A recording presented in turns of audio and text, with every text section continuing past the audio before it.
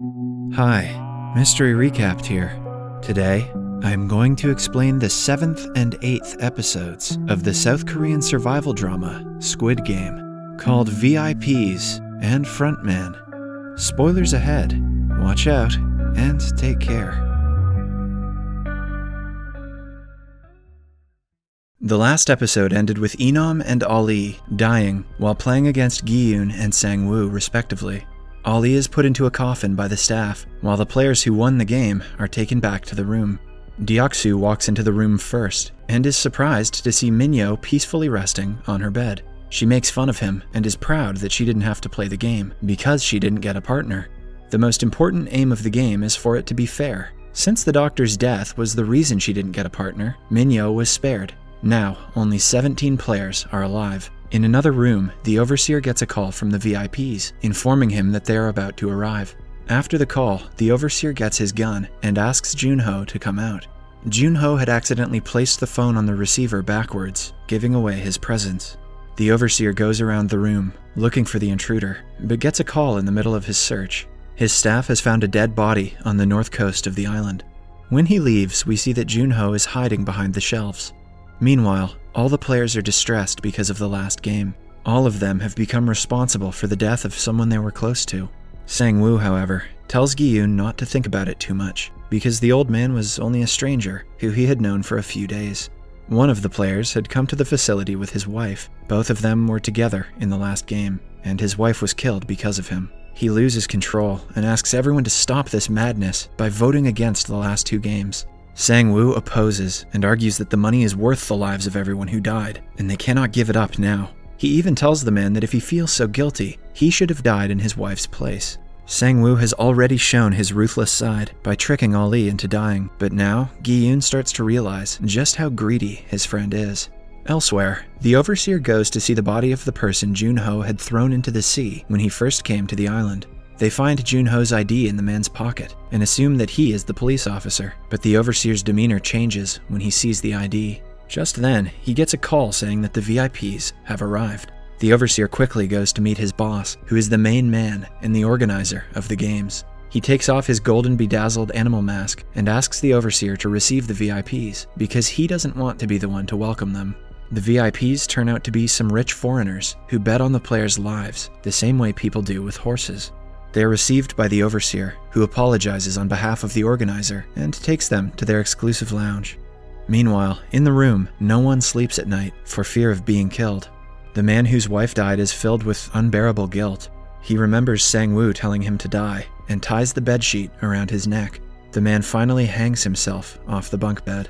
One of the VIPs sees this in the surveillance footage and gets annoyed because he had bet $1 million on that man. The others laugh it off showing that money is the least of their problems, and they do this for fun. Simultaneously, Junho abducts a waiter appointed to serve the VIPs with drinks. He changes his clothes and disguises himself as the waiter after killing him. He also places his cell phone up his sleeve to record everything he sees. Meanwhile, the players are woken up by an alarm and see a coffin being brought inside. They finally see that the man has hung himself. Before they can comprehend what happened, they are called for the fifth game. The VIPs rest in the lavish lounge while watching the players and deciding who they should bet on. Junho enters the place, and a perverted VIP's eyes land on him. He calls Junho near and asks him to stay nearby. This time, the players are brought to the empty white room again, but this time it has 16 mannequins placed in front of them, each wearing a number. They are told to choose one randomly. Everyone tries going for the middle ones because being at the front or back is risky. Before Gi-hun can choose one, only the first and last ones are left. Gi-hun reasons that if he goes first, he might have more time left and a better chance at winning. He's about to take the first one when another player asks him if he can have it instead. Gi-hun accepts and takes the very last one. They are then brought to the place where they will be playing the game.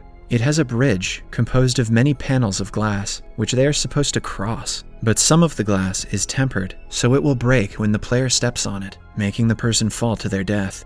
The man who took the first place has to go first, and therefore has a very low chance of winning. The person in first accepts his fate and moves forward, but falls to his doom with his second jump. Similarly, the second man jumps quickly over the first few glasses, but eventually falls. After some time, it is the priest's turn to move forward. He starts praying to God instead of moving, angering the people behind him. The person right behind him tries to push him off, but instead falls off the glass himself. The priest thanks God for saving him, only to be pushed by the person behind him. Sang Woo is nervous because they are taking a lot of time to cross, which might cause him, Sae-byeok, and Gi-hun to not get there in time. Eventually, the person before Deok-su falls off, leaving him in the front. Deok-su is too scared to move ahead himself, so he tells his minion behind him to go forward. The man, however, doesn't agree, saying that this is a matter of life and death. Meanwhile, the VIP who is attracted to Junho now asks him to sit down beside him. He flirts with Junho and asks him to take the mask off. Junho knows if he takes it off, his secret will be revealed, but the VIP insists. With no way out, he asks the man to come to the other room, where they can have some privacy. The man totally ignores the game and goes to the other room with Junho. He then takes off his robe and stands naked in front of Junho, expecting sexual favors from him. Junho, however, gets his gun out and threatens the man to take his mask off. He turns out to be a wealthy, middle aged American man. Junho starts recording a video, telling the man to reveal everything he knows about the game. Back in the game, Minyo pushes Deok-su's minion off the glass and takes his place. She and Deok-su throw insults at each other before she agrees to go before him. She doesn't want him to waste her time because only three minutes are left. She asks him to move and steps on his glass, but instead of moving forward, takes a tight hold of him Minyo reminds Deok-su of when she threatened to kill him if he ever betrayed her. Deok-su tries to get her off of him, but he cannot make a lot of movement on the glass. At last, she deliberately falls off the bridge, taking Deok-su with her. Now, only four of the players are left. Gi-hun at the end, then Sae-byeok, Sang-woo, and at the front is an old man who claims to be a glassmaker with 30 years of experience. The man can tell the difference between the two types of glass by observing the way the light reflects off of them. He easily passes the first few glasses, taking the group closer to victory. But the VIPs realize he can tell the glasses apart, and the Overseer turns the lights off. He is now at the last glass but cannot tell which is tempered. When he takes too much time, Sang-woo takes the matter into his own hands and pushes the man to the glass in front of him. The glass breaks, and Sang-woo easily steps onto another one and wins the round. Sae-byeok and Gi-hun do the same and pass at the last second. A charge is detonated, and the remaining glass explodes, injuring the winners as well. Sang-woo and Gi-hun get minor cuts, but Sae-byeok is gravely injured. Meanwhile, the Overseer asks a staff member to see what is going on with the VIP and the waiter, but they find both of them missing. The staff also find one oxygen tank missing, indicating that the intruder has escaped. The Overseer gets on a boat himself to go on a search for him. Sang-woo, Sae-byeok, and Gi-hun are the only three left out of the 456 players who first arrived. They are taken back to the room where Gi-hun belittles Sang-woo for killing the man when they could have all made it through. Sang-woo, in turn, tells him to be grateful that he was there to do the dirty work for him. He calls Gi-hun an idiot who doesn't know how real life works. Sae-byeok, on the other hand, stays on the bed, holding her sides. As the two fight, the staff come into the room and congratulate them for getting through the five rounds and finally making it to the sixth. They hand the players one box each and invite them somewhere special. Sae-byeok goes to the washroom and takes her clothes off to reveal a shard of glass protruding from her abdomen. She painfully takes it out and bandages the wound with her shirt. The box given by the staff has fancy clothes inside, which the players are supposed to wear. The players are then brought to a triangular dining table and given a lavish feast. The guys devour it completely, but Sae-byeok barely even touches the food because of her injury. After they are done, the staff take their utensils away, but leave them with a knife. Meanwhile, Junho is on the run from the Overseer and ends up on another side of the island.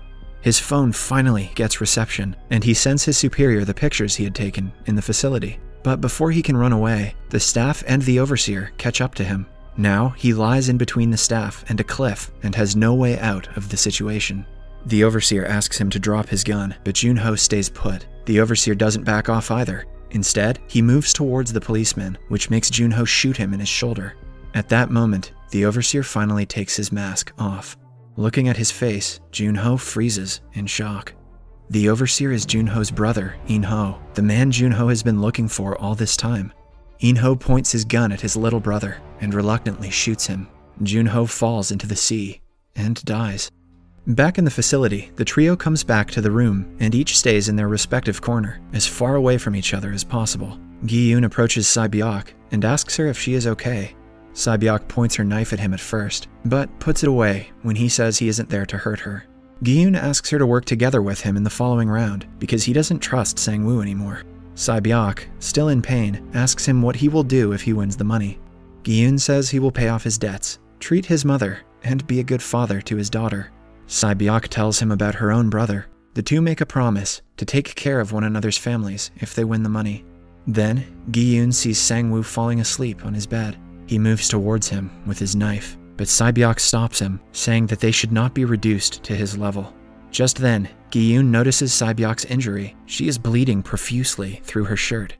Gi-hun freaks out and starts yelling at the staff to come in and save her. As he bangs on the door, some staff come in, but they have a coffin with them.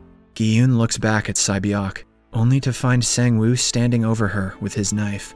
He had stabbed her to death, while Gi-hun was begging the staff to save her. Gi-hun loses control and shakes Sae-byeok's limp body, trying to wake her. He attacks Sang-woo in a fit of rage, but is stopped by the guard. Eventually, they take Sae-byeok's body away and burn it in the furnace. The two final contestants of the game are Gi-hun and Sang-woo. Subscribe for more videos like this, turn on notifications, and leave a like to help the channel out. Thank you for watching.